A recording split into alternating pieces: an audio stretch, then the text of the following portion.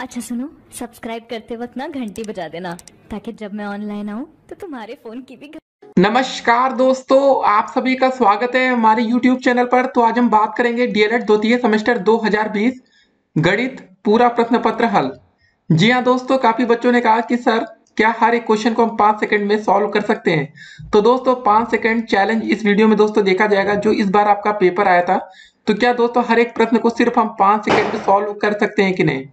क्योंकि दोस्तों, कुछ बच्चों के लिए एक घंटे का भी समय कम पड़ जाता है, लेकिन आज हर एक क्वेश्चन को दोस्तों हम लोग सिर्फ़ पाँच सेकंड में सॉल्व करने की कोशिश करेंगे। तो आप इस वीडियो को शुरू से लेकर अंत तक देखिएगा। तैयारी है दोस्तों ये 25 नवंबर की। जी हाँ दोस्तों, आपका पेपर 25 नवंबर को होगा। तो एक बार दोस्तों चलिए शुरू करते हैं वीडियो को, और सभी बच्चे शुरू से लेकर अंत तक वीडियो को देखेंगे। और हर एक क्वेश्चन को सिर्फ़ पाँच सेकंड में सॉल्व किया जाएगा। जी हाँ दोस्तों, छह सेकंड का भी समय नहीं लगने वाला। और सबसे बड़ी बात क्या है ना पाँच सेकंड की दोस्तों ज़रूरत उन बच्चों को पड़ती है जो बच्चे अधिकतर दूसरों की हेल्प करते हैं। जी हाँ दोस्तों, जो बच्चे क्लास के टॉपर होते हैं, सोचते हैं कि जल्दी से हमारा पेपर हो जाए और हम अपने दोस्तों की मदद कर पाए पेपर में। तो दोस्तों, गणित का प्रश्न पत्र हल। दो दशमलव पाँच लाख बच्चे इस पेपर में सम्मिलित होंगे। ठीक है तो पेपर अच्छा होने वाला है। तो चलिए दोस्तों, आज के पहले क्वेश्चन को देखते हैं। पहला क्वेश्चन दोस्तों, हमारा जो प्रश्न मतलब पेपर में पूछा गया था कि एक त्रिभुज की तीन भुजाएँ तीन, पाँच, आठ सेंटीमीटर है तो त्रिभुज होगा। तो दोस्तों, इस क्वेश्चन को आप खाली पाँच, तीन, आठ जोड़ेंगे, आठ आठ बराबर हो गया तो सिंपल सा एक सेकंड में बोलेंगे आप, त्रिभुज संभव नहीं है। इस क्वेश्चन में दोस्तों, आपको लेस देन एक सेकंड जी हाँ दोस्तों, सिर्फ़ एक सेकंड का ये क्वेश्चन था। पाँच सेकंड तो हमने बहुत ही ज़्यादा बोल दिया इस क्वेश्चन के लिए, एक सेकंड अगला क्वेश्चन था कि निम्नलिखित संख्याओं में से प्राकृतिक संख्या है। दो, आप देखते ही आंसर कर सकते हैं। तो ये क्वेश्चन भी दोस्तों एक सेकंड में हो गया। तो देखिए, हम आपके सामने समय भी लिखते चल रहे हैं कि किस क्वेश्चन को कितना समय लगेगा आपको करने में। तीसरा क्वेश्चन था कि निम्नलिखित में से कौन सी परिमेय संख्या नहीं है। एक बात और आपको बता दें। क्वेश्चन पढ़ने के समय के बाद दोस्तों, जैसे हम क्वेश्चन पढ़ रहे हैं ना, उसमें हमारा टाइम काउंट नहीं होता। कौन बनेगा करोड़पति या कोई भी दोस्तों, आपने क्विज गेम देखा होगा तो पहले क्वेश्चन पढ़ दिया जाता है उसके बाद टाइम दिया जाता है ना कि आपको तीस सेकंड का समय दिया जाता है। तो पहले क्वेश्चन पढ़ेंगे, उसके बाद समय। ठीक है ना? ये मत कहिएगा कि यार एक सेकंड तो क्वेश्चन पढ़ने में चला जाता है।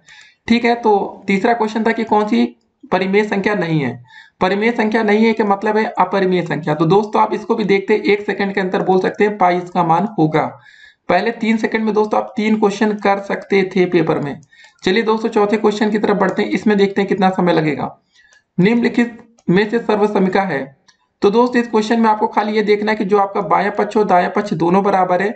तो देखिए दोस्त, इस क्वेश्चन को देखते समय आप पहले समझ गए कि पहला वाला बिल्कुल गलत है तीसरा गलत है।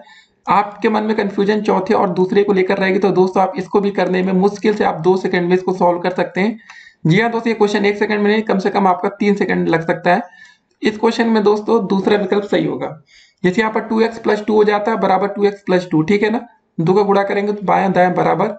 अब पांचवा क्वेश्चन दोस्तों हमारे पेपर में था कि तीन के घाते एक्स प्लस टू बराबर इक्यासी तो एक्स का मान आपको बताना था। अब देखिए, जिन बच्चों के प्रैक्टिस पहले से होगी ना तो वो दोस्तों इक्यासी को देखते समझ जाएँगे, तीन के घाते चार लिखा है। एक्स प्लस टू बराबर चार हो गया तो दोस्तों एक्स का मान दो। इस क्वेश्चन को करने में दोस्तों मुश्किल से मुश्किल दो से तीन सेकंड का समय लगेगा, लेकिन प्रैक्टिस होनी चाहिए। हम आपके सामने प्रैक्टिस की बात क्यों कर रहे हैं? क्योंकि अगर आपने ऐसा प्रश्न पहले पढ़ा है, ठीक है, जैसे दोस्तों ये लिखा था, तीन के घाते एक्स प्लस टू बराबर एट्टी वन लिखा था अगर दोस्तों इस बार पेपर में आपका ये क्वेश्चन आ जाता है कि तीन के घाते एक्स प्लस टू बराबर ट्वेंटी सेवन तो ट्वेंटी सेवन को आप तुरंत समझ सकते हैं कि तीन के घाते तीन लिखा हुआ है। तो यहाँ पर आप तुरंत अपने मन में इमेजिन करेंगे एक्स प्लस टू बराबर तीन है तो हमारा एक्स का मान कितना आ जाएगा? एक आ जाएगा। ठीक है तो इसका फ़िलहाल आंसर कितना आता है? एट्टी वन था तो दोस्तों एट्टी वन का मतलब होता है तीन के घाते चार। एक्स प्लस टू बराबर चार तो एक्स का मान आ गया चार माइनस दो बराबर दो। ठीक है तो पहले क्वेश्चन दोस्तों, पाँच क्वेश्चन करने में आपको कितना समय लगा? इसको भी तीन सेकंड हम मानते हैं। पहले पाँच क्वेश्चन करने मतलब पहले पाँच प्रश्न को करने के लिए एक सेकेंड, दो सेकेंड, तीन सेकेंड, तीन तीन, छह सेकंड, छह, तीन, नौ। सोचिए दोस्तों, आप पहले नौ सेकेंड के अंदर ही पाँच नंबर के बहुविकल्पीय प्रश्न कर सकते थे। ठीक है? इस बार दोस्तों आपको ध्यान रखना देखिए कभी कभी पेपर आसान आता है कभी कभी मुश्किल आ जाता है। अब चलिए दोस्तों, अति लघुत्तरी प्रश्नों की तरफ़ चलते हैं और यहाँ पर देखते हैं कि कितना समय आपको लगेगा हर एक क्वेश्चन को करने में। तो छठा क्वेश्चन दोस्तों था हमारा x square minus seven x plus six आप दोस्तों इसको देखते ही इमेजिन कर जाएँगे कि छह कम छह होता है, छह प्लस एक सात करके दोस्तों इसको सॉल्व किया गया है। तो मतलब दोस्तों एक्स स्क्वायर माइनस छह एक्स माइनस एक्स प्लस का छह बराबर ज़ीरो इसको सॉल्व किया गया है। विद इन दोस्तों, दो से तीन सेकंड में आप इसको इतना बना लेंगे। देखिए दोस्तों, आपने ये पहला जो स्टेप कर लिया ना, समझ लीजिए दोस्तों, आपका क्वेश्चन सॉल्व हो चुका है। ठीक है? बाकी दोस्तों, आगे का प्रोसेस आपको तो करना ही है कि एक्स माइनस ये कॉमन लेंगे, वो कॉमन लेंगे। लेकिन अगर आपके मन में इतना ही समझ में आ गया कि हमें ऐसे करना है देखिए क्वेश्चन करने का तरीका आपको समझ में होना चाहिए ना। मेथड क्या होता है? इसी को तो दोस्तों हम बोलते हैं, आप लोग जब प्रैक्टिस करेंगे तो आपको मेथड पता चल जाएगा। अगर आपको मेथड पता है तो किसी का बाप भी आपको फेल नहीं कर पाएगा। सातवां क्वेश्चन था कि पाँच पुस्तकों का मूल्य, सात पुस्तकों के मूल्य से चौदह रुपए कम है। ठीक है ना? जो पाँच पुस्तकों का मूल्य है, वो सात पुस्तकों के मूल्य से चौदह रुपए कम है। तो एक पुस्तक का आपको मूल्य ज्ञात करना था तो आप दोस्तों देखते समझ जाएँगे, seven x minus five x बराबर चौदह लिखा है। ये दोस्तों कब आपको समझ में आएगा? जब आपके पास प्रैक्टिस होगी। या दोस्तों, आप इसको ऐसे लिख सकते थे कि पाँच पुस्तकों का जो मूल्य है ना, सात पुस्तकों के मूल्य से चौदह कम है। तो मतलब दोस्तों, पाँच एक्स बराबर सेवन एक्स माइनस का चौदह। अब ये x कहाँ से आया? तो दोस्तों, आपको मन में तुरंत इमेजिन हो जाएगा कि हमने पुस्तक का मूल्य x माना है तो ऐसे इसको सॉल्व करना है। ये सब आप कैसे सीखेंगे? जब तक आपके पास प्रैक्टिस नहीं होगी। अगर आप चाहते हैं इसका पूरा प्रश्न पत्र हल देखना, उसका लिंक हम नीचे आपको कमेंट बॉक्स में दे देंगे दोस्तों, जहाँ पर हमने पूरा प्रश्न पत्र हल आपके लिए बना रखा है।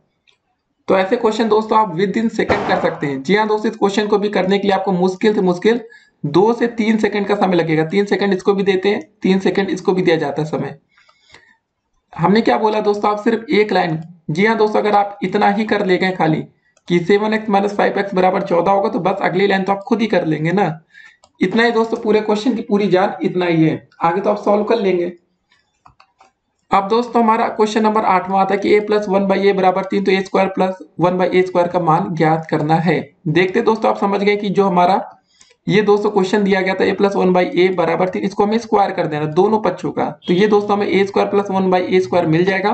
क्वेश्चन सॉल्व हो जाएगा। शॉर्टकट तरीका होता है बी स्क्वायर माइनस टू का फॉर्मूला यूज़ करना। बी का मतलब यहाँ हम तीन मान लेंगे तो तीन का स्क्वायर नौ नौ माइनस दो बराबर सात। तो दोस्त, इस क्वेश्चन को आप मुश्किल से मुश्किल दो से तीन सेकंड में आप इसका आंसर भी इमेजिन कर सकते हैं। इमेजिन का मतलब सही वाला आंसर आपके सामने होगा। ठीक है? ये हो गया। नौवा क्वेश्चन दोस्तों, ये क्वेश्चन काफ़ी बार रिपीट हुआ है कि एक बगीचे में 2025 पौधे लगे प्रत्येक पंक्ति में उतने ही पौधे लगे जितने बगीचे में कुल पंक्तियाँ है। मतलब जितनी पंक्तियाँ हैं और जो पौधे लगे दोनों बराबर है। अगर दोनों को आपने एक्स मान लिया तो एक्स स्क्वायर का मान 2025 है। अब आपको पता है दोस्तों 45 का स्क्वायर होता है 2025 बस हो गया क्वेश्चन सॉल्व तो बस यार, ऐसे क्वेश्चन करने में दोस्तों आपको तीन तीन सेकंड चार चार सेकंड का समय लग रहा है। आप समझ रहे ना कितना आसान था पेपर दसवां क्वेश्चन था दोस्तों, एक पुस्तक का मूल्य दिया गया इतना है, और इसी प्रकार के पुस्तकों का मूल्य ज्ञात करना है। हमने आपको एग्ज़ाम्पल दिया था दोस्तों, अगर एक मतलब एक पुस्तक का मूल्य अगर आपको बता दिए कि आपने जो किताब कापी खरीद के ला रहे हो, दस रुपए की है तो आप बताइए कि पाँच कापी दोस्तों खरीदने में कितना रुपए लगेगा? तो आप कहेंगे दस गुड़े पाँच कर देंगे, दस पच्चीस, पचास हो गया। बस वही करना था। इन दोनों क्वेश्चन में भी दोनों का गुड़ा कर देंगे आंसर आ जाएगा। अब आता है ग्यारह नंबर क्वेश्चन माइनस एक बटे दो तथा पाँच बटे चार के मध्य दो समदूरस्थ संख्याएँ तुरंत दोस्तों आप एक ऐसी सीधी लाइन खींच देंगे, एक बटे दो दोस्तों लिखा है, यहाँ पर देखिए नीचे हर क्या चार दिया है ना? और यहाँ दोस्तों क्या दे रखा है हमारा? माइनस एक बटे दो। तो क्या करेंगे? माइनस एक बटे दो में दोस्तों दो से गुड़ा दो से भाग कर देंगे। तो क्या हो जाएगा? माइनस दो बटे चार। माइनस दो बटे चार का मतलब देखो हम दो दूनी चार। फिर वही एक बटे दो आ जाएगा। तो लिखा हुआ ये दोस्तों खाली थोड़ा लिखने का पैटर्न हमने चेंज कर दिया। अगर हम ऐसे क्वेश्चन की प्रैक्टिस पहले से कर रखे तो हमें ज़्यादा समय नहीं लगेगा। आप बीच में ज़ीरो ले लेंगे, एक बटे दो दो बटे, ठीक है, एक बटे चार मतलब दो बटे चार, तीन बटे चार चार बटे, पाँच बटे चार तक। फिर माइनस एक बटे चार, माइनस दो बटे चार तक कर लेंगे, बीच के दो संदूरस्थ ऐसे निकाल लेंगे। क्वेश्चन में समय दोस्तों, आपको तभी लगेगा। देखिए, इस वीडियो को आप देख रहे हो तो एक बात आपके समझ में आ रहा होगा कि यार हमने ऐसे क्वेश्चन की प्रैक्टिस कर ली है। अगर सेम क्वेश्चन आएँगे तो हमें करने में ज़्यादा समय नहीं लगेगा। इसीलिए दोस्तों, हम आपसे कहते रहते कि जितने ज़्यादा से ज़्यादा क्वेश्चन की आप प्रैक्टिस करेंगे। जब दोस्तों उससे मिलते जुलते या वही क्वेश्चन रिपीट आपके सामने दिखेंगे तो आप उन सभी प्रश्नों को विद इन सेकेंड एक सेकेंड के अंदर सॉल्व करने की आप क्षमता रखेंगे। ठीक है? बाकी कॉपी पर लिखने में देखिए, समय तो लगता है। आपके मन में सॉल्व हो गया, यही बड़ी बात है। अब देखिए दोस्तों, आते दो दो नंबर वाले प्रश्नों पर। अब देखते हैं इसमें कितना समय लगता है, ठीक है? दो नंबर का क्वेश्चन है, आसान तो होगा नहीं, फिर भी कोशिश करेंगे कि पाँच सेकंड के अंदर क्वेश्चन हो पाए। एक्स की घाते चार वाई माइनस एक्स वाई की घाते चार का गुणनखंड कीजिए। ऐसे क्वेश्चन काफ़ी बार रिपीट हुआ था। दोस्तों, आप आग बंद करके एक्स वाई कॉमन लेंगे। X cube minus y cube बचेगा। बस हो गया क्वेश्चन सॉल्व अब x cube minus y cube का मतलब फॉर्मूला आपको पता है कि एक्स माइनस वाई और दूसरे ब्रैकेट में x square plus y square plus x y आगे एक्स वाई तो रह गई, हो गया क्वेश्चन तो देखिए कितना आसान है। आपको एक बात समझ, हम यही समझाना चाहते हैं कि आपका पेपर कभी कठिन नहीं आता है।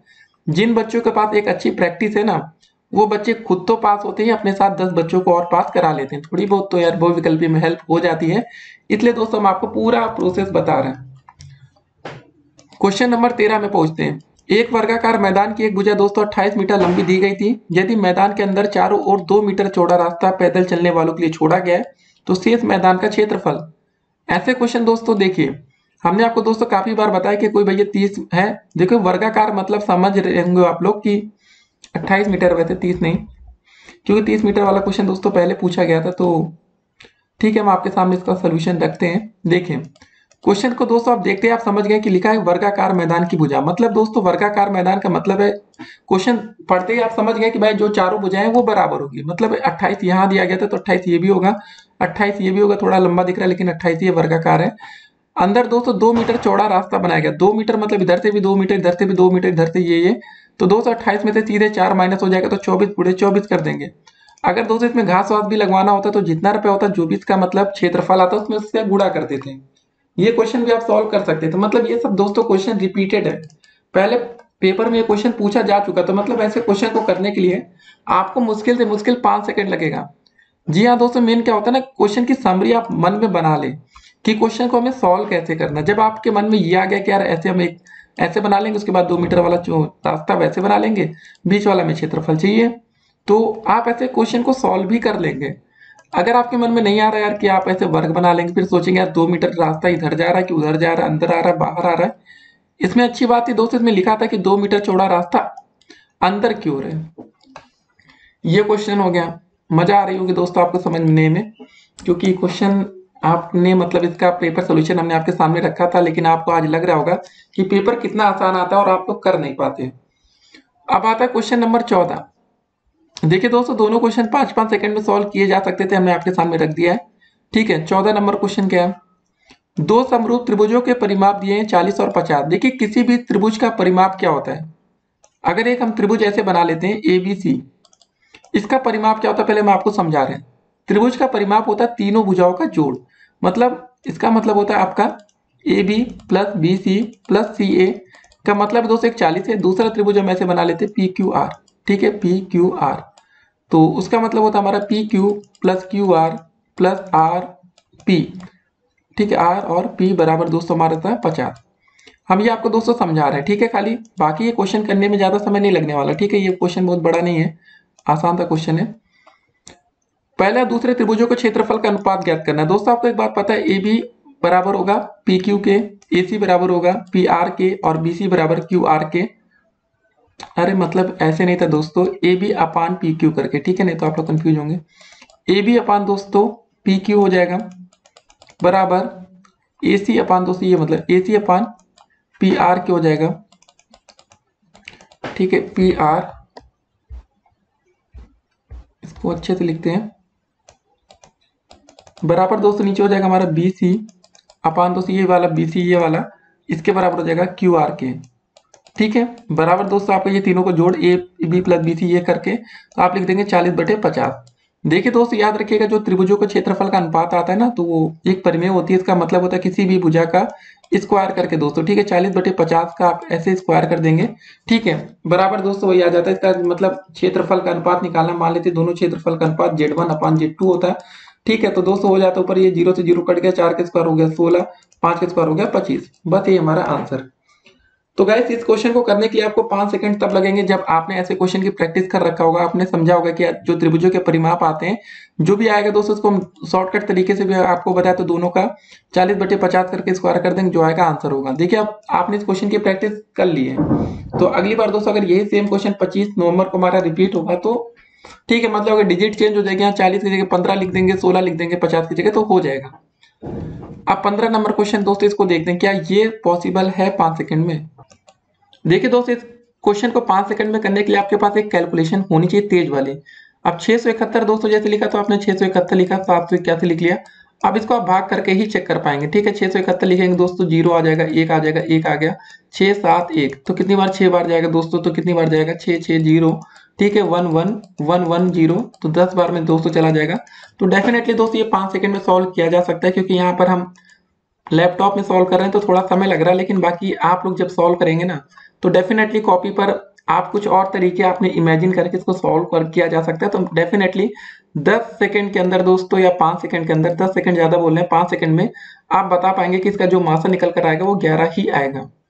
अब दोस्तों, अगला क्वेश्चन आता है सोलह नंबर देखिए क्वेश्चन को पढ़ते ही आप समझ जाएँगे कि इसकी माध्यिका हमें कैसे बनानी है। माध्यिका निकालने के लिए दोस्तों, आपको पता है कि पहले आरोही क्रम मतलब आरोही का मतलब होता है हमारा बढ़ते हुए क्रम में लिखेंगे। सबसे छोटी संख्या इसमें दोस्तों में दिखी चार, पाँच, ऐसे दोस्तों बढ़ते हुए लिख लेंगे, उसके बाद जोड़ लेंगे। टोटल संख्या एक, दो, तीन, चार, पाँच छ सात, आठ, नौ। मतलब एन का मतलब दोस्तों मतलब मान आ गया नौ। नौ क्या एक विषम संख्या। विषम संख्या का मतलब माध्यिका निकालने के लिए n plus one by two वहाँ पद का फार्मूला लग जाता है क्वेश्चन हो गया। तो इसको पहले आरोही क्रम में दोस्तों लिखेंगे तो क्या हो जाएगा? चलिए हम आपको लिख के दिखा दे रहे पहले चार आएगा, फिर पाँच आएगा। ठीक है, चार, पाँच, उसके बाद हमारा सात, नौ, दस, सात, नौ, दस हो गया। ठीक है, फिर दोस्तों हमारा आ जाएगा ग्यारह, पंद्रह, सोलह। ग्यारह, पंद्रह, सोलह। टोटल जोड़ लेते हैं एक, दो, तीन, चार, पाँच छ सात, आठ, एक संख्या दोस्तों छूट रही है कोई। इसको भी जरा देखते हैं। तो दोस्तों हमारा यहाँ पर देखिए ग्यारह के बाद बारह छूट रहा है ना। तो जल्दबाजी में दोस्तों आप ऐसे गलती नहीं करेंगे। ग्यारह, बारह, ये आ गया। ठीक है एन प्लस वन का फार्मूला लग गया तो हमारा आ जाएगा। नौ प्लस वन बाई टू ठीक है मतलब दस बटे दो का मतलब हो गया दोस्तों हमारा पांचवा पद। ठीक है, काफ़ी बच्चे जैसे भाग कर लेते हैं ना, पांचवा पद आके तो इसी को आंसर लिख देते तो पांचवा पद देखिए कौन सा आ रहा है। एक, दो, तीन, चार, पाँच। पांचवा पद दोस्तों हमारा आ रहा है दस। तो हमारा फाइनल आंसर हो जाएगा दस। ठीक है, ये आंसर होगा। तो ये बच्चे गलती करते हैं तो हमने सोचा इसको भी जरा आपके सामने रख देते हैं। अब दोस्तों, अगला क्वेश्चन की तरफ़ हम लोग बढ़ जाते हैं। क्या है अगला प्रश्न हमारा? इसको जरा करने की कोशिश करेंगे कि ये पाँच सेकंड में पॉसिबल है या इम्पॉसिबल है। देखिए, एक आयत की लंबाई, उसकी चौड़ाई से पाँच सेंटीमीटर अधिक है। ठीक है, मान लेते दोस्तों, जब बोलते हैं ना, आयत की लंबाई उसकी चौड़ाई से अधिक है तो मतलब चौड़ाई नहीं दी गई तो चौड़ाई हम एक्स मान लेते हैं, लंबाई एक्स प्लस हो गया। ठीक है, इसका फार्मूला होता है परिमाप का। परिमाप का फार्मूला टू लंबाई प्लस चौड़ाई। ठीक है, ये होता है फार्मूला हो गया क्वेश्चन लंबाई जगह दोस्तों पहले हम एक्स प्लस पाँच रखते तो बेहतर होता, नहीं तो आप कंफ्यूज होंगे। ठीक है, कैसे रखना है बता रहे जो हमारा आयत का परिमाप का फार्मूला क्या होता है?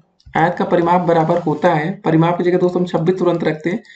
होता है टू लंबाई। मतलब लंबाई हमने एक्स प्लस पाँच माना, चौड़ाई हमारी एक्स थी, बस इतना क्वेश्चन कर लिए सॉल्व हो गया। इतने से हम आप समझ जाएँगे। इसके बाद देखिए मेन क्या होता है ना कि आप मेथड समझ जाए कि हमें आगे कैसे करना है। अगर दोस्तों आप इतना मन में इमेजिन करके इतना बना लिया ना कि छब्बीस बराबर टू एक्स प्लस पाँच प्लस एक्स तो इसका मान तो आप ऐसे निकालेंगे, छब्बीस बराबर टू हो जाएगा, दो बार एक्स जोड़ेंगे तो हो जाएगा टू एक्स प्लस का पाँच। ठीक है अंतर गुड़ा कर लेंगे तो हो जाएगा फोर एक्स प्लस का दस, बराबर ये ट्वेंटी सिक्स है। तो यहाँ से दोस्तों मान निकालना होगा तो यहाँ भाग कर लेंगे, जैसे छब्बीस में से पहले दस इधर ला के घटा लेते हैं, बराबर फोर एक्स, यहाँ आ जाएगा सोलह बराबर फोर एक्स एक्स का मान दोस्तों आ जाएगा हमारा चार। एक्स का मान दोस्तों, जैसे ही हमारा चार चौके सोलह आ गया ना, चार कम चार चार चौके सोलह। एक्स का मान चार आ गया तो दोस्तों हमने जो इसकी लंबाई मानी थी, वो एक्स प्लस पाँच मानी थी तो चार प्लस पाँच कर देंगे। आंसर नौ सेंटीमीटर आ गया। याद रखना है दोस्तों, जल्दबाजी में आप गलती में डिजिट मत छोड़िए यूनिट मत छोड़ दीजिएगा कि सेंटीमीटर में कि किसमें। ये क्वेश्चन भी दोस्तों आराम से पाँच सेकंड में आप सॉल्व कर सकते थे। अठारवा क्वेश्चन था कि निम्नलिखित आंकड़ों के लिए पाँच का वर्ग अंतराल लेकर बारम्बार साड़ी बनाइए। पाँच का वर्ग अंतराल ज़ीरो से पाँच पाँच से दस दस से पंद्रह, ऐसे करके पचास तक आप जाएँगे, क्योंकि अड़तालीस मैक्सिमम है। एक जगह बारम्बारता वाली बना लेते, खत्म मैटर तो क्वेश्चन दोस्तों, बहुत ही कठिन नहीं था पेपर में, आप कर सकते थे। पूरा पेपर दोस्तों, अगर हम कहें ना, अगर कॉपी पर आप करना चाहते, जो बच्चे होंगे टॉपर टाइप वाले, वो किसी भी कीमत पर दोस्तों, इस क्वेश्चन पेपर को कॉपी पर दोस्तों, हम करें सोल्यूशन करने के लिए, उनको अधिक से अधिक समय जो चाहिए होता है वो पंद्रह मिनट ही सफिशियंट होता उनके लिए। पंद्रह मिनट में वो बच्चे पूरा पेपर सॉल्व करके कॉपी में बैठ जाते, क्योंकि यार पाँच बहुविकल्पी। लिखने में दोस्तों हम कह रहे हैं कि मुश्किल से मुश्किल आपको एक मिनट का समय लगेगा ना, खाली देखते ही आंसर आपको पता चल रहा है। हमने भले दो नौ सेकंड में आपको दिखाया करके, लेकिन एक मिनट में आप कॉपी पर लिख सकते थे। उसके बाद दोस्तों ये जो अतिलक उत्तरी के क्वेश्चन थे, मुश्किल से मुश्किल दोस्तों, पाँच मिनट का समय मान लें कि पाँच क्वेश्चन है तो पाँच मिनट का समय आप देते लिखने के लिए।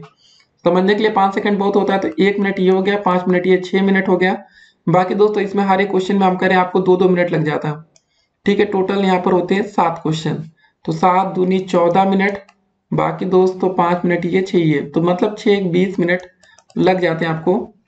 लेकिन आपको बता दें, पंद्रह मिनट में भी हो सकता है, क्योंकि हर क्वेश्चन को करने में दो मिनट का आपको समय ना लगता है. कुछ में तो एक मिनट भी लगता है ना यहाँ पर भी.